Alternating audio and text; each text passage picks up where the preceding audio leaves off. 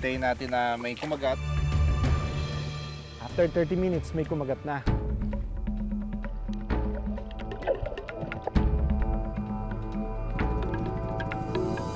Sa buong araw, nakakakuha sila ng siguro 8 to 10, no?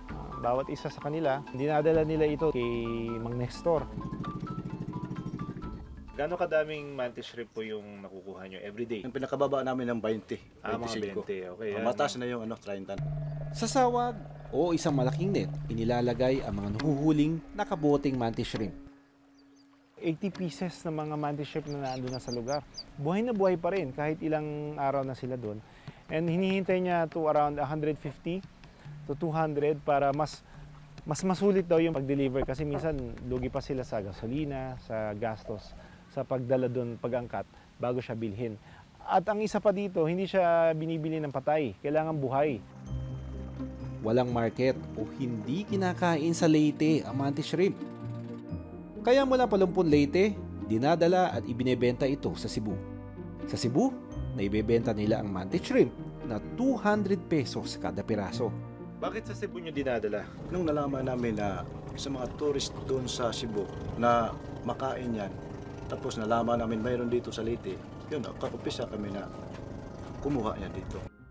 Sa Cebu, kinakain daw ito madalas ng mga ng mga Chinese, Korean, mga foreigners, no. Binibili ito na mahal para kainin sa mga Chinese restaurants.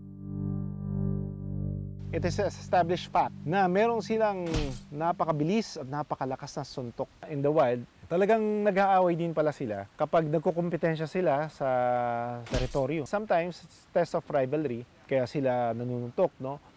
Ang sabi naman ng mga ibang scientists, no, they they do this itong pang pang itong pang punch kapag if they want to knock out their prey and eat them. Ang alimasag na hinahabol ng mantis shrimp. Makailang beses binigyan ng power punch. Hanggang sa matanggal ang sipit nito. Mga crabs have they have claws that can easily uh, hurt them, no? Kaya yung suntok naman nila ng mga mantis shrimp, yung pinakadepensa nila Tinatawag na fastest punch ang kanilang suntok na mas mabilis ng 50 beses sa isang kurap ng mata. Mahigit 10 taon nang nanghuhuli ng mantis shrimp si Ricky.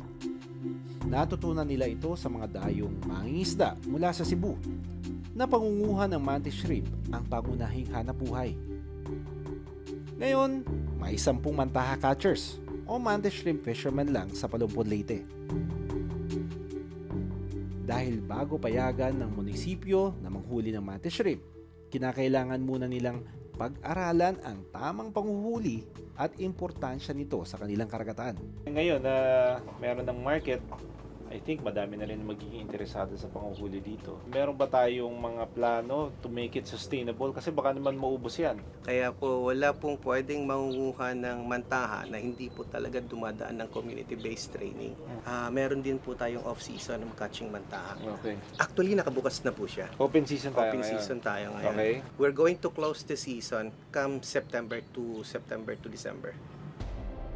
Noong September 2018, sinimulan ang ganitong proyekto para ma-regulate ang dami ng nahuhuling mantis shrimp sa kanilang lugar. Isang paraan ito para hindi dagsain ng mga mangingisda ang kanilang karagatan at mapanatiling may sapat na huli ng mantis shrimp sa kanilang lugar.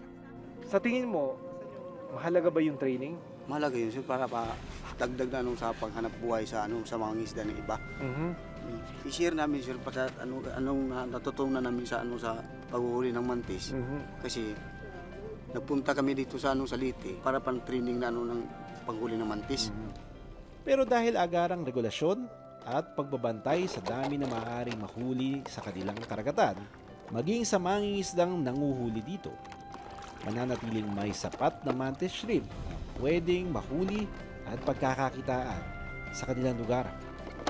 So maganda talaga na may, may regulasyon na kung hanggang kailan ka lang pwede manghuli, hanggang kailan ka dapat tumigil na para mabigyan ng tsansa naman na makarecover yung bilang nila so that we can all benefit uh, from their numbers.